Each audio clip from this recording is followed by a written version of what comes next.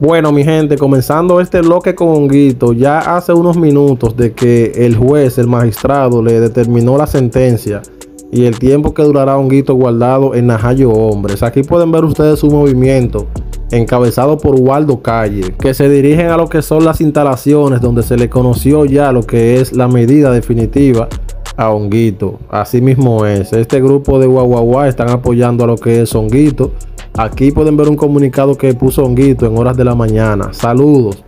Por esta vía les informo que mañana a las 9 de la mañana, donde Waldo vamos a entregar por los chefs frío Honguito Guá. Solo al que vaya para la casa del conductor apoyar a Honguito. Mañana es la audiencia. Esto lo hizo Honguito un día previo de lo que es la audiencia, o sea, en el día de ayer. Así que sin más preámbulos, mi gente, Honguito fue sentenciado a dos meses de prisión el cual tendrá que cumplirlos en la penitenciaría de Najayo Hombres. Vamos a ver un video ahora, mi gente, donde Honguito estaba detenido temporalmente antes de que se le conociera lo que es esta nueva medida de coerción. Ahí pueden ver a Honguito muerto de risa. Oye, este muchacho no cambia.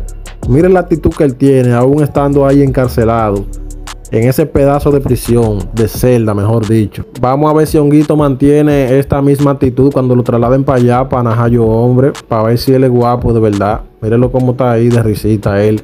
Pero bueno, ya ustedes saben, mi gente, dos meses de medida de coerción a lo que se investigue el caso. Recordemos que Honguito es acusado de perjurio porque le mintió a las autoridades al decir que no tuvo nada que ver y que ni siquiera estuvo el día del accidente cuando ocurrió aquel hecho donde falleció lamentablemente un nacional haitiano. Así que ya ustedes saben, ustedes van a ver la campaña ahorita en las redes sociales de Frío Honguito, Frío Honguito por todos lados. Vamos a ver si después de esto Honguito aprende la lección, se tranquiliza un poco. Bueno, mi gente, ahí pudieron ver al Tóxico anunciando lo que es la nueva versión de Capel Dow. No les dejé el preview por asuntos de derechos de autor. Bueno, mi gente, por otro lado, Lápiz Consciente acaba de hacer un anuncio muy interesante. Lápiz acaba de hacer un anuncio en el que dice que se postulará para presidente. Miren este comunicado. Uno cuenta, es un solo voto. Por el momento solamente tengo ideas progresistas, porque conozco las precariedades del sistema y cómo salir de la pobreza haciendo lo correcto.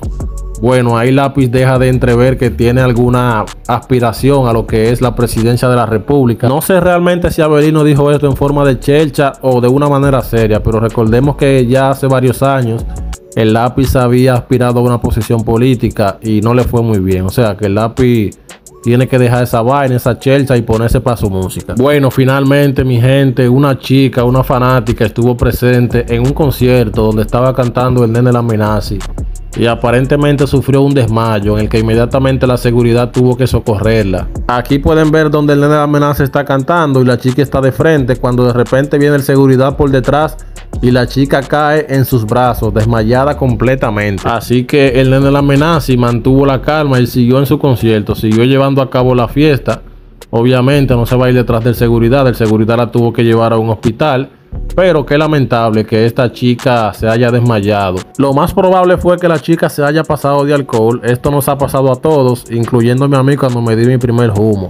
Bueno, mi gente, hasta aquí el video de hoy. Si te gustó el contenido, por favor suscríbete a mi canal, dale like a este video, comenta, activa la campanita y nos vemos en una próxima entrega.